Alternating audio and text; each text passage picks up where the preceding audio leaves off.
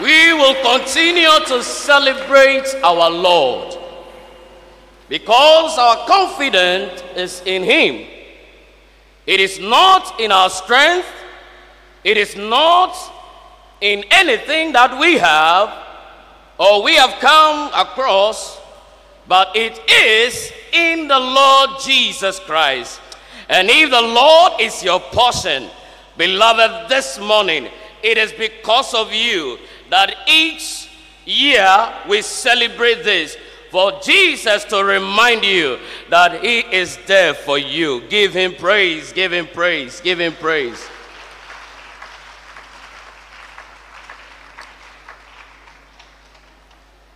With the permission of our Father, Reverend Daniel Lawson, the session, briefly I want to introduce my brother.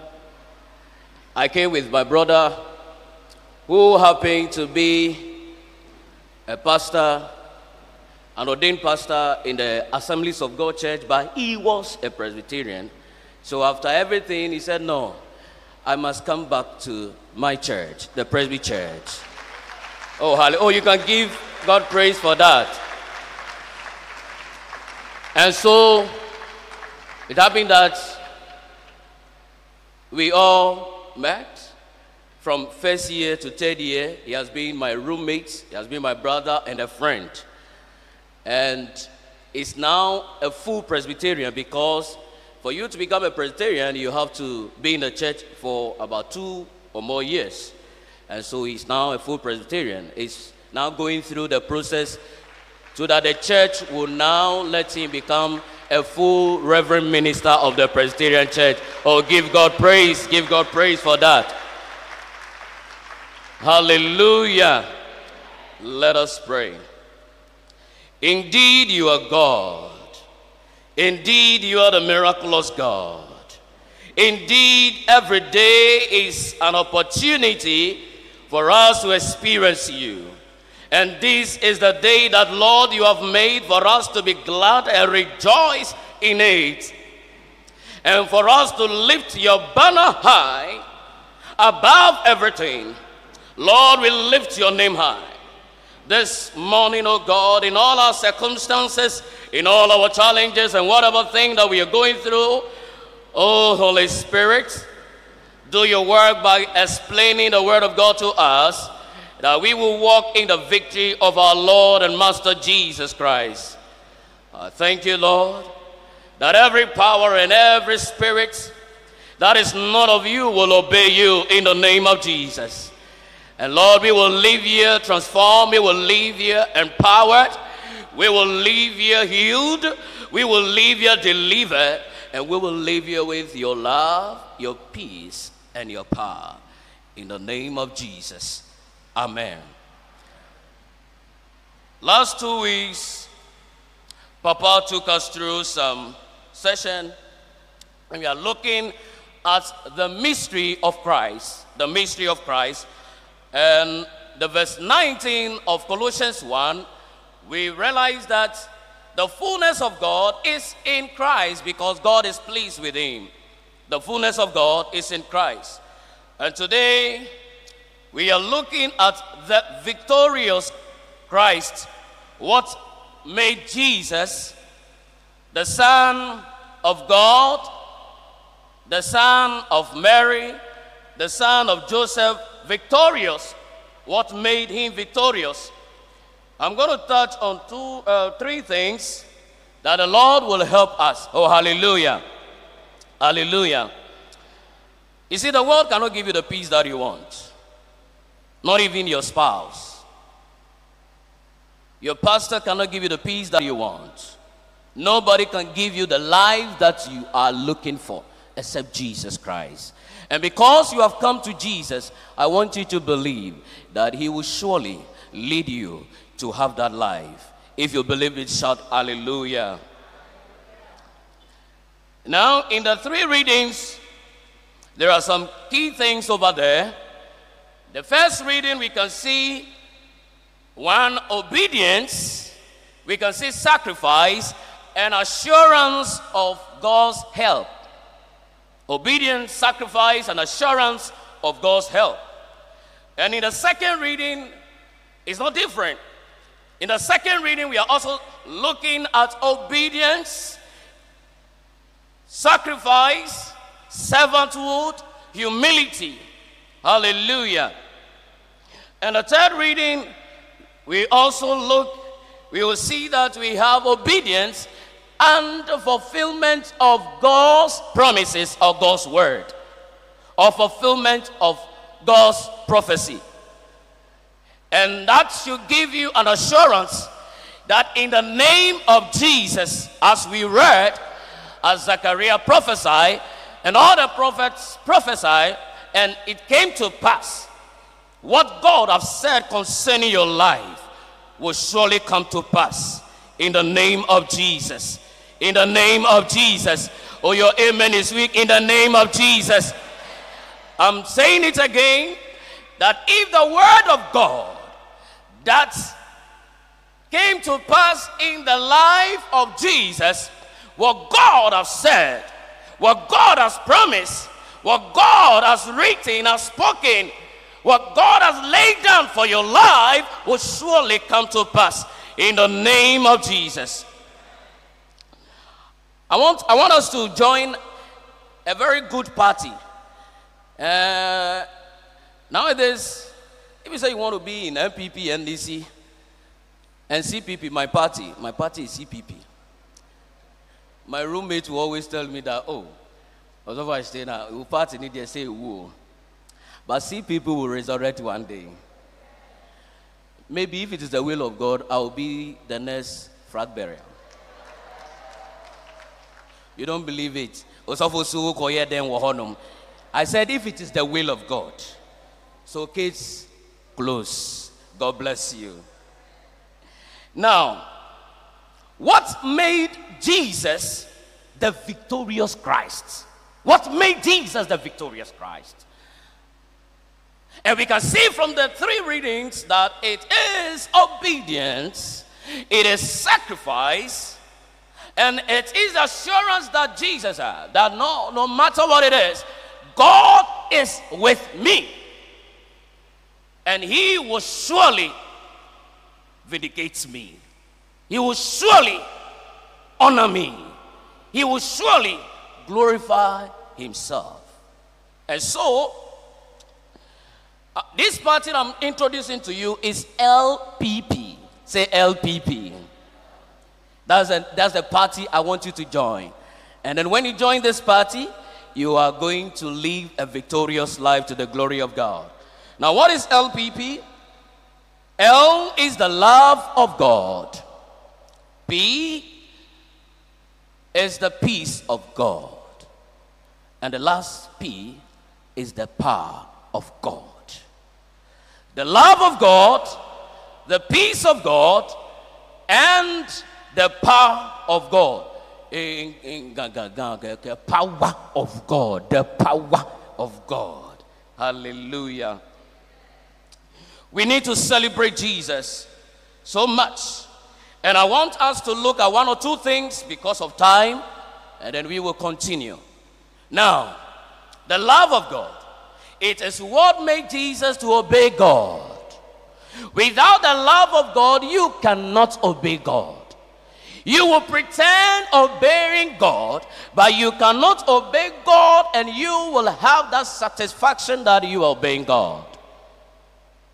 Because when you are pretending and you don't have the love of God, what it means is that fear will come in. And God has not given us a fear, but He has given us love. Hallelujah. Hallelujah. And so God demonstrated love.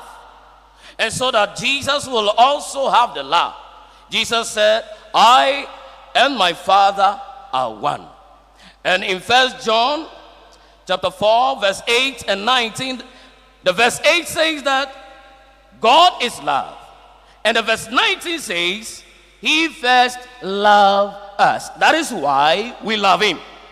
So if God did not show us that love, there is no way we will love Him. Now, it tells you that there is power in love.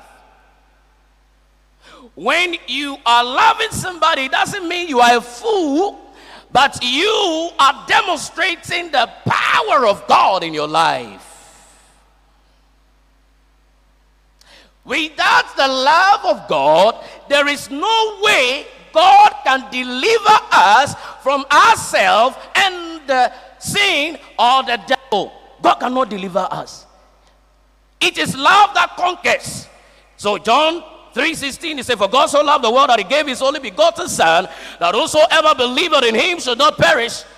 And verse 7 he that for the, God did not send the son to come and condemn us, but to save us. That is the love. So it is the love of God that compels us. That is why we are following him. That is why when sometimes we look around and we look at things that is worrying us, we will think about the love of God and we just let it go. May the love of God fill your heart. May we increase in the love of God because that is what will give us victory. Now, from the Old Testament, you can realize that there are some prophets, their actions, I believe, does not please God. But God have to accept it because of the free will he has given to man. And so when Jesus came, Jesus demonstrated. And we are looking for peace. We are looking for peace. We want to enjoy the peace of God. And so the peace of God is what we need. Uh, uh, if you have the love of God, you need the peace of God. Another time we will go into great detail. And so Jesus, leaving the disciples in John 14 27, the disciples they were disturbed. They said, Hey, Master, Master, I better with you going. Where are you going? I mean, they were disturbed. Like you tell somebody, um, I want, I want, I want to leave you for some time. say, oh no, why? you feel it. Because you know that when you have that person around, you have some kind of peace. Is that not it? Hallelujah. Hallelujah. Now, Jesus said, My peace I give to you. Because God is peace, He has given Jesus the peace. Be- beginning, I said that in verse 19, Colossians 1, Jesus, that we realize that the fullness of God is in Christ. So, First Corinthians 14, verse, verse 33, is that God is not a God of confusion, it's a God of peace. God is peace. God is peace. He's not a God of confusion. So, anytime you see confusion around you, that is the work of the devil. And you must let the peace of God prevail. May the peace of God prevail over your situation in the name of Jesus. And so, Jesus, realizing that, he said, No, I know I've talked about you about the love of God. And the love of God, Jesus demonstrated the love of God. He said, The greater love is this that a friend will lay down his life for his neighbor. This. And doing that, all the things. Now let's look at something before I come to the peace of God. John 13 1. John 13 1. John 13 1 first. I'm going to read from John 13 1. Now, before the feast of the Passover, when Jesus knew that his hour was come, that he should depart out of this world unto the Father, having loved his own which were in the world, he loved them unto death. Now, this is the scripture, this is the passage we saw Jesus washing the feet of the disciples. And he has shown that love, knowing very well that Judas will betray him, but he demonstrated love for Judas. He washed the feet of Judas. Sometimes God will reveal, you will see that this person doesn't love you. But do you know what you will do to overcome? Is for you to demonstrate the love of God. Now, how? Because you to have the peace of God. Jesus is the Prince of Peace. Isaiah chapter 9, verse 6. He, is, he shall be called the Prince of Peace. The Prince of Peace. Who is his father? God. And therefore, he has the peace. He said, My peace I give you. I give you my peace. Did not how the world give it. May the peace of God fill your heart. Now, God wants us to demonstrate power. And when we have the power of God and we don't take care, we will destroy our own self. And that is why God wants us to be filled with His love. Then we will have peace. Then He can give you power. Because if He gives you the power, we will misuse the power. And so He have to give us peace, give us love, so that you will love your neighbor. And then you have the peace of God. And then you can demonstrate the power of God in your life. And so, in John 1 12, he says he gave those who believe in him the power to become children of God. Beloved in the Lord. Beloved in the Lord. I want us to write these things as we zoom into prayer, or you can you can have it. Is I'm saying that I want to read it.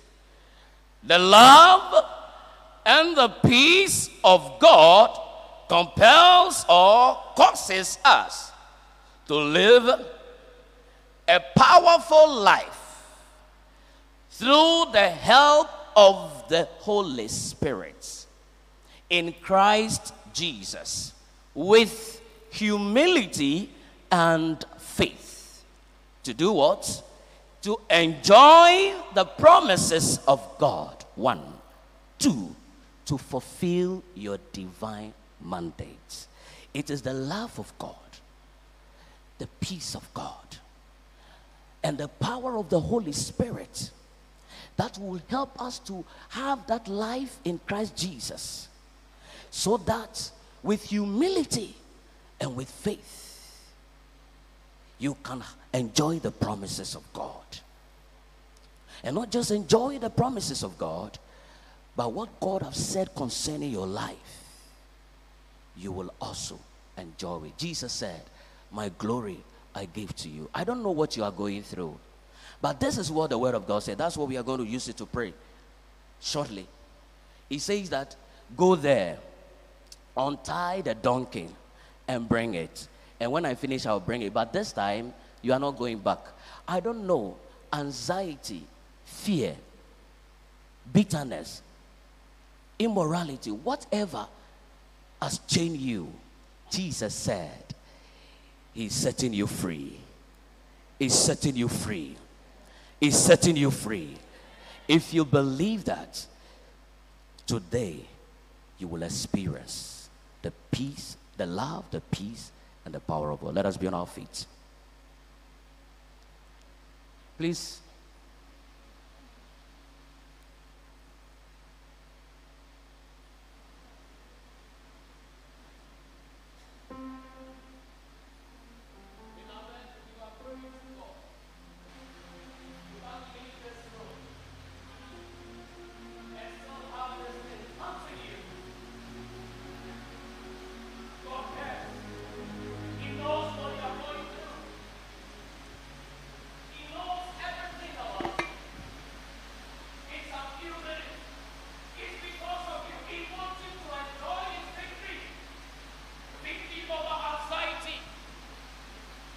victory over fear. He wants you to have that peace and go through it because His grace is sufficient for you. I don't know.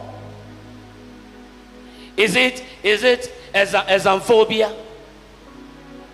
Whatever it is, God want to set you free. That rejection that you are receiving, it is because of you. That Jesus it's because of you and I that Jesus is entering to conquer everything. And when he entered into Jerusalem, do you know what he did? He swept away every filthy thing in the temple. Your body is the temple of God. And Jesus is coming to sweep away anxiety, to sweep away the fear, to sweep away all those that demonic seed in your life is here to set you free. Is here to set you free. Can you raise up your right hand with me? Raise up your right hand with me.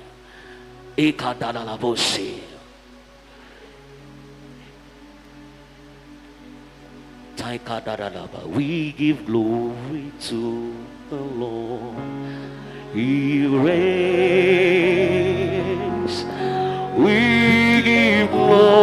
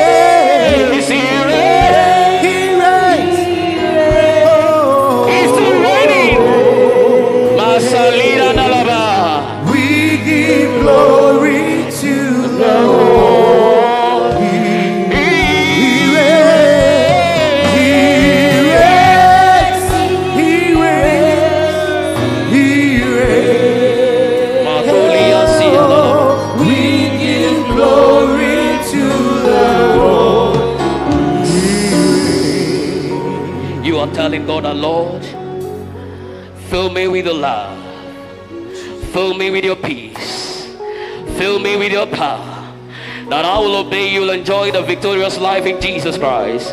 Open your mouth and pray. God is faithful. He will give it to you. He will give it to you. He said he needs your body. He said, Go. Anybody that will ask you, tell the person I need it. I am telling the devil that you don't belong to him. You belong to Jesus. You don't belong to failure. You don't belong to anxiety. You don't belong to bitterness. You don't belong to lust. You belong to Jesus. He needs you. Tell him, the Lord, fill me with your love. Fill me with your peace. Fill me with your power. That I. Oh, that sickness, that sickness, that sickness, that sickness cannot take hold of your life. He cannot saribanea. That sickness cannot take over your life. The devil cannot take your marriage. The devil cannot take your marriage because he raised a spirit deliverance in your marriage now. In the name Jesus, may the Lord reign in your affairs. May the Lord reign in your situation now. May the Lord reign in your family. May the Lord reign at your workplace. May the Lord reign at your school. May God reign in this church. Thank you, Father. Thank you, Jesus. Please, with all humility, put your two hands on your chest and let's pray shortly. Father, we cannot do it. It is you. If you are here, you want to rededicate your life to Jesus so that you will enjoy the love of God. You will enjoy the peace of God and the power to cause things to change in your life. Don't look at anybody, just raise up your two hands. I'm saying those who want to dedicate their life, those who want to rededicate, who want to reaffirm their faith in Jesus. This is your day. You have been struggling, you have been doing it with your own strength. God wants to help you. He wants to help you because He loves you. He wants to help you because He wants you to enjoy His peace and His power. Raise up your two hands with me if you want to rededicate your life to Jesus. You want to rededicate your life to Jesus, or you want to give your life to Jesus. And if you are struggling with something that you need the grace of God to overcome it, you can also raise up your hand. Don't feel shy. God bless you. All those that have raised up your hands, God bless you because God is here. He will give you from today. From today, you will experience the love of God, the peace of God, and the power of God to lead that life. You have the power to forgive. You have the power to love your neighbor as God wants us to love our neighbor. You have the power to do all things through Christ that strengthens you. Now, Lord Almighty, in the name of Jesus, I pray for this brethren. the Lord Jesus, you will take hold of your life.